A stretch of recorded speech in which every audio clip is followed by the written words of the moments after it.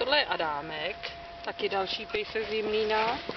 Je to psí senior, je klidný, hezky chodí na procházky, snáší se s ostatníma pejskama.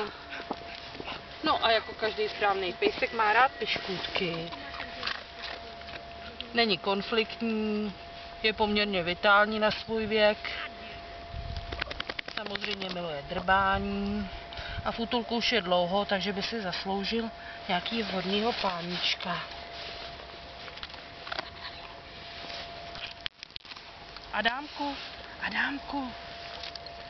Adámek se nepere, je odčervený, ale potřeboval by už koupel. Viď?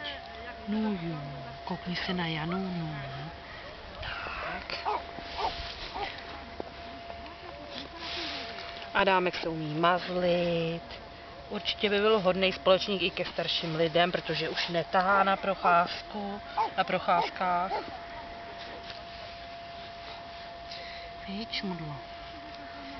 No jo, no jo. Adámek je hodný pejsek, no jo.